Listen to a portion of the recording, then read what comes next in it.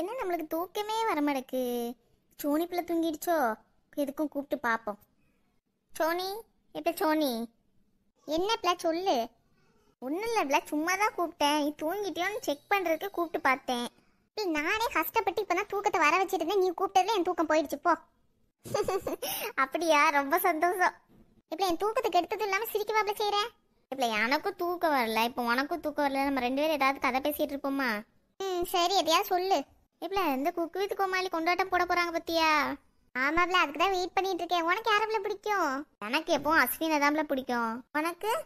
My favourite எப்பவும் புகழாண்டு சிவாங்கி தான். அவங்க ரெண்டு பேரும் அண்ணன் தங்கச்சி பாசத்தை பத்தியாவது பார்க்குறப்ப நம்மளுக்கு இப்படி ஒரு அண்ணன் இல்லையேன்னு எனக்கு தோணும்.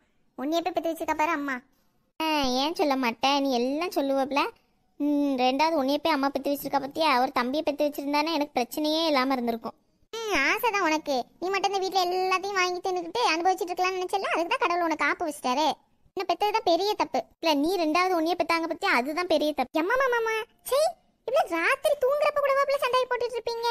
உங்களை ரெண்டு பேரையும் பெத்ததாம்ல முதல்ல பெரிய தப்பு. பேசாம ரெண்டு பேர் வாய முடிட்டு தூங்கிடுங்க பாத்துக்கோங்க. காதுக்குள்ள வந்து ரெண்டு பேர் கத்திட்டு இருக்காங்க ஏம்மா எங்களுக்கு தூக்கம் வந்தா தூங்க மாட்டோமாமா ஆமாமா தூக்கமே வரல. அதான் நாங்க ரெண்டு பேரும் பேசிட்டு இருக்கோம்.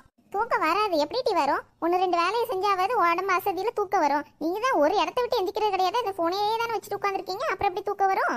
தூக்கம் வரல தூக்கம் வரல ஃபோனை வச்சுக்கிட்டு பன்னெண்டு மணி வரைக்கும் முழிச்சிட்டு இருக்க வேண்டியது. அப்புறம் காலையில பத்து மணி வரைக்கும் நல்லா மூடிக்கிட்டு தூங்கிக்கிட்டு அப்புறம் நைட் தூக்கம் வரல.